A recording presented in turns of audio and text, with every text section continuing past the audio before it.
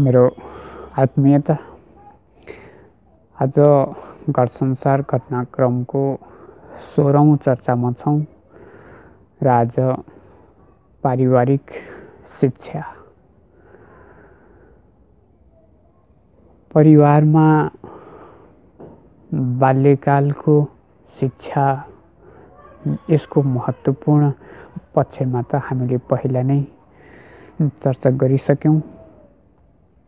अब व्यक्तिको बुद्धि हातमा आइसकेपछि वा बाल्य निर्भरता गइसकेपछि पनि पारिवारिक शिक्षा पद्धति शिक्षा प्रणाली पारिवारिक शिक्षण अबको सभ्यताको लागि अब आउने सभ्यताको लागि महत्त्वपूर्ण छ। आजसम्म त यसो भएन। र यो अब हामीले बनाउनु पर्नेछ आजसम्म बाल्यकालको शिक्षा पनि हामीले ठिक ढङ्गले दिएनौँ र त्यो आजको सभ्यतामा जुन शिक्षाको क्षेत्रले लिएको छ हामी यसमा नै गएका छौँ र त्यो पूर्णत कुशिक्षा हो त्यो पूर्णत मानिसलाई यान्त्रिक अज्ञान र पशुवत राखिरहने। जुन शिक्षाको बाध्यता आजसम्म गुज्रेर आयो अब यसको हल गर्नुपर्छ। बाल्यकालको शिक्षाको महत्त्वको बारेमा त अझ अन्त पनि धेरै चर्चा गर्नेछु। त्यो झनै महत्त्वपूर्ण र यसको आधार रहनेछ। आज पारिवारिक शिक्षा जो व्यक्ति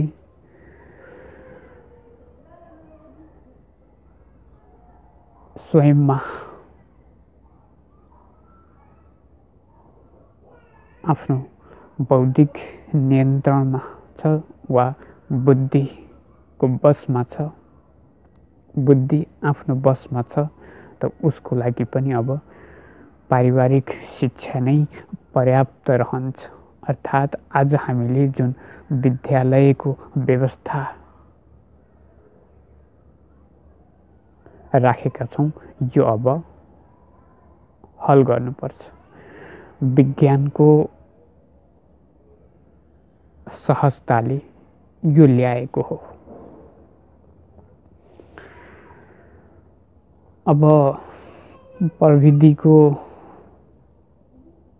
ठिक उपयोग गर्नको लागि विद्यालयको शिक्षा हल गर्नुपर्ने हुन्छ। आज हामीले विद्यालयमा जसलाई शिक्षक र जुन शिक्षा दिएका छौँ त्यो जीवनको लागि जीवनको लागि बिल्कुलै अनुकूल छैन। त्यो जीवनको विरुद्धमा छ। त्यसले व्यक्तित्व पूर्ण रूपले सबै रूपले नष्ट गरेको छ। फेरि यो शिक्षा काम आउन सक्छ। यो ज्ञान होइन यो अज्ञानता हो यो जानकारीगत शिक्षा हो। यसको पनि काम छ। यो अज्ञानताको पनि काम छ। यो अज्ञानतावश लिइने जो जानकारी छ यो ज्ञान गर्नको लागि माध्यम बन्छ। अज्ञानताको महत्त्व ज्ञान गर्ने माध्यमको रूपमा अपनाउन सक्छौँ। अत यो शिक्षा जानकारीगत शिक्षा जुन आज हामीले विद्यालयमा दिन्छौँ यसलाई ज्ञान गर्नको लागि एउटा साधनको रूपमा उपयोग गर्न सक्छौँ। अज्ञान छ र त ज्ञान छ। जब हामीले अज्ञान छ भनेर देख्नेछौँ र न हामी ज्ञानको लागि उन्मुख बन्न सक्छौँ। त आजको शिक्षालाई ठिकसँग देख्यौँ भने? ऊ विद्यालयबाट बाहिर आउनेछ र ज्ञानसम्म जानेछ। या विद्यालयमै रहेर पनि ज्ञानसम्म जान सक्छौँ तर आजको शिक्षा त्यो विद्यालय होइन त्यो विषयालय हो। यो ज्ञान होइन यो अज्ञान हो यो अज्ञानको आयाममा छ। यसलाई ज्ञानको आयामले देख्नुपर्ने हुन्छ। त आजको शिक्षा पद्धतिलाई नै बदल्नु पर्नेछ यसलाई रूपान्तरण गर्नुपर्नेछ। र त्यो जुन विषयालय जसलाई हामीले आज विद्यालय भन्छौँ त्यो शिक्षा पनि अबको विज्ञान र प्रविधिले विस्थापित गर्दै पारिवारिक शिक्षामा नै पूर्ण रूपमा उपयोग गर्न सक्छौँ। अत पहिला शिक्षा र ज्ञानलाई यो के हो यसलाई ठिकसँग देखौँ जानौँ यसको धेरै चर्चा अगाडि भइसकेको छ र आज हामीले आजको शिक्षालाई आजको शिक्षा के दिइरहेका छौँ त्यो शिक्षाले व्यक्तिको जीवनमा कतिको महत्त्व राख्छ व्यक्तिको जीवनको विकास हुनुपर्ने के हो र आजको शिक्षाले दिइरहेको छ के? यस यसलाई ठिकसँग जानेपछि मात्र यो हामीले सही रूपमा अपनाउन सक्छौँ जान्न सक्छौँ र यसलाई बदल्न सक्छौँ। त पहिला यसलाई देख्नको लागि त व्यक्तिले आफ्नो चेतन या बौद्धिक उपयोग गर्नु नै पर्नेछ। बौद्धिक उपयोग बिना यो ठिकसँग देख्न सक्ने छैनौँ। जुन आजको व्यवस्थामा यान्त्रिकता लादिएको छ जसलाई हामीले यस व्यवस्थामा अपनाएका छौँ मानेका छौँ गुजारिएका छौँ यसमै अभ्यस्त भएका छौँ त यसबाट बाहिर आउन ठुलो जटिलता अवश्य छ। यदि यस जटिलतालाई हल गर्नको लागि यदि व्यक्तिले आफ्नो विवेकको उपयोग गर्छ भने ऊ बौद्धिक तामा थोरै पनि प्रयत्नरत रहन्छ भने त उसको लागि यो अवश्य बुझाइमा आउनेछ। त पारिवारिक शिक्षामा के हुन्छ? आजको शिक्षामा जे छैन त्यो पारिवारिक शिक्षामा हुन्छ। यसको आधारलाई थोरै जानौँ। र आजको शिक्षामा जे छ त्यो पनि अब विद्यालयबाट अलग गरेर परिवारमा नै। प्रविधिको सहायताले व्यक्तिले आफैले शिक्षक बिना नै जान्न सक्दछ। आज शिक्षकद्वारा जुन शिक्षा दिएको छ त्यो शिक्षाले जति असर राख्दछ उति नै त्यो शिक्षकले असर राख्दछ। अत आजको जसलाई हामीले शिक्षक भन्छौँ त्यो र शिक्षा बराबर हानिकारक छन्।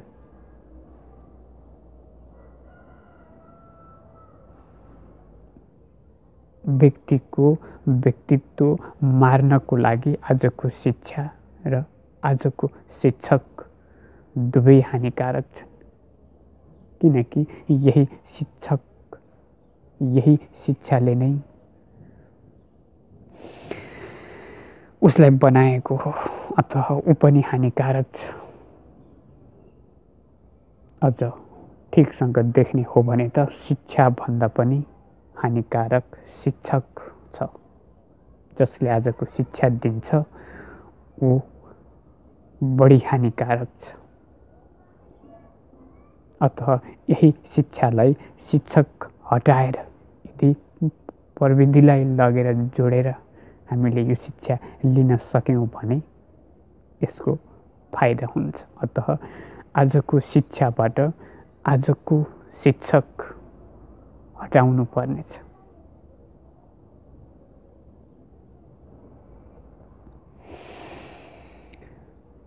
यो विद्यालयको होइन यो विषयालयको विद्यालयमा त योग्य गुरु रहनेछ जसले सदा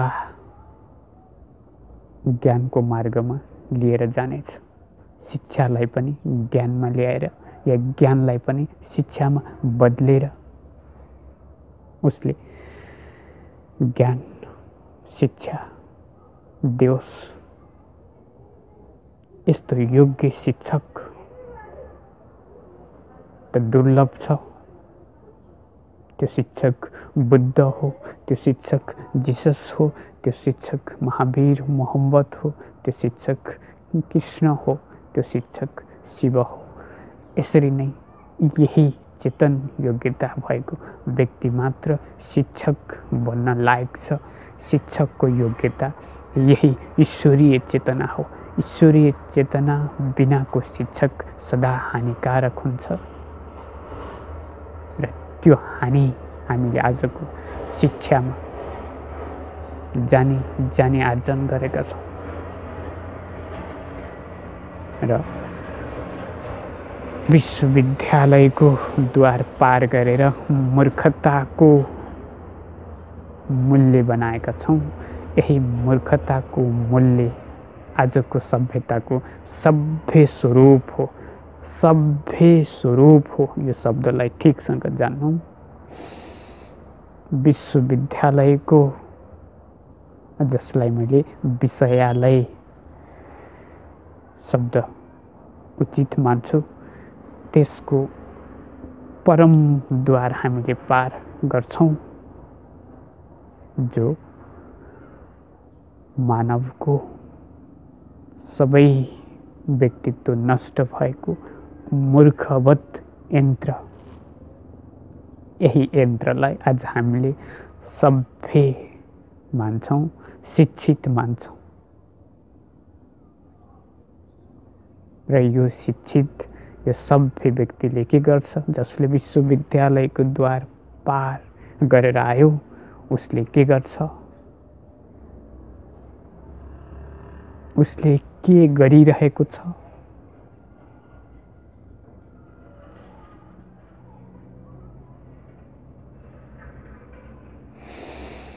यसलाई ठिकसँग जानौ।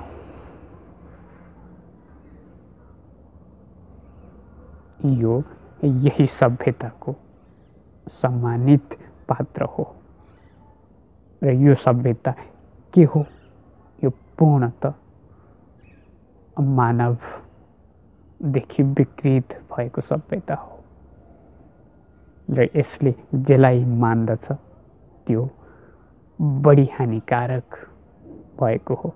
यही हानिकारकता अँगाल्दै गयो। विश्वविद्यालय पार गर्यो त्यो महाहानिकारक भएर आयो। फेरि हामीले यसैलाई मान्छौँ। यसले नै हामीलाई दास बनाउँछ। यसको दासत्व हामी स्वीकार्छौँ फेरि। त यो विषयालयको द्वारको चर्चा छोडौँ। अब शिक्षामा जाउँ। जुन शिक्षा ज्ञान सहित हुन्छ। यस्तो ज्ञान सहितको शिक्षाको महत्त्व ठुलो छ। अत यस ठुलो महत्त्वलाई सम्हाल्नको लागि अब विषयालयबाट जसले आज हामी विद्यालय भन्छौँ त्यसबाट यस शिक्षालाई अलग गरेर बरु परिवारमा ल्याउँ। एक व्यक्तिले नै प्रविधिको सहायताले घरमै त्यो शिक्षा लियोस्। र, पारिवारिक शिक्षाको आधार हो, आचरण शिक्षा, जुन बाल्य शिक्षाको महत्त्व मैले अन्त व्याख्या गर्ने गर्नेछु यहाँ आचरण जसलाई हामीले संस्कार र संस्कृतिबाट पनि हल गर्दै ल्याउनेछौँ जसले ठिक जीवनको आधारलाई जोगाइराख्नेछ। यो आधार शिक्षा भनेको ज्ञान हो। यस ज्ञानको लागि यस व्यक्तिको व्यक्तिगत विकासको लागि घरमा जुन संस्कार हामीले ल्याउनेछौँ यस संस्कारभित्र जुन शिक्षा जुन ज्ञानको आधार हामीले राख्नेछौँ यो आधारको मूल्यलाई ठिकसँग अबको सभ्यताले देख्नु पर्नेछ अबको सभ्यताले यो बनाउनु पर्नेछ जीवन विकास मानवदेखि ईश्वरसम्मको सिँढी चढ्नको लागि जुन व्यक्तिमा भएको बौद्धिक आयाम हो उसको बौद्धिकता हो उसले बौद्धिक कार्य जुन गर्नुपर्नेछ त यो रहस्यगत आयाम जीवन जगतको रहस्यगत आयाम जुन हो यसलाई ठिकसँग जग हाल्नु पर्नेछ यो पारिवारिक शिक्षामा यो जग भएन भने यो आयाम पनि स्पष्ट भएन भने फेरि यो शिक्षा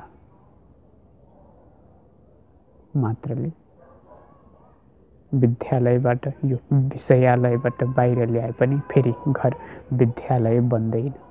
घरलाई विद्यालय बनाउनको लागि आधार चाहिन्छ जो जीवनको विकासको आयाम हो। यो चेतन आयाम यो अस्तित्वगत द्वार खुल्यो भने यो अस्तित्वगत द्वारलाई खोल्ने साधन यदि घरमा भयो भने त त्यो घर विद्यालय बन्न सक्छ र त्यो आधार त्यो द्वार खोल्ने औजारहरू हुन्। योग, प्राणायाम, ध्यान, चिंतन, मनन, स्वाध्याय थोरै एकांतता।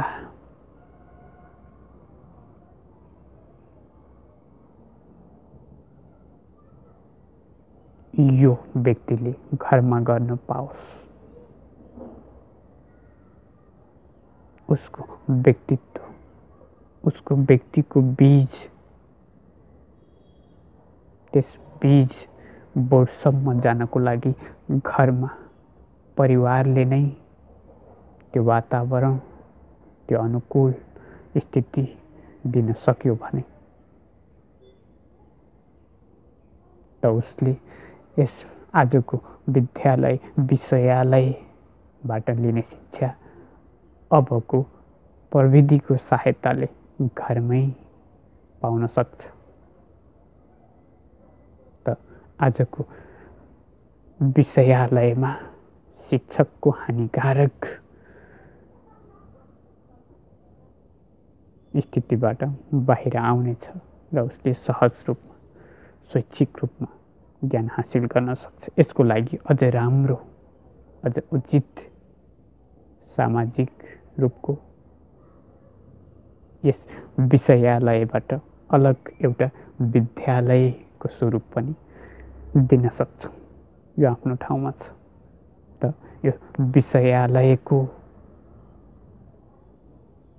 बन्धनबाट बाहिर आऊ घरमै आऊ प्रविधिसहित आऊ त्यो शिक्षालाई पनि अपनाऊ। र यो ज्ञानतर्फको आयाम यो सार र रूप दुवै आयामलाई देख्न सक्ने दुवै आयामलाई खोल्न सक्ने दुवै आयामलाई भोग्न सक्ने।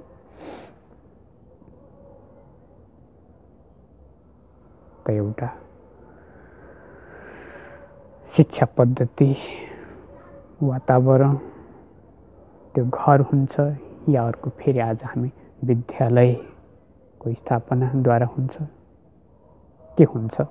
अबको सभ्यताले यसमाथि सोचोस् र यसतर्फ अगाडि जाओस्। त आजको लागि यति नै।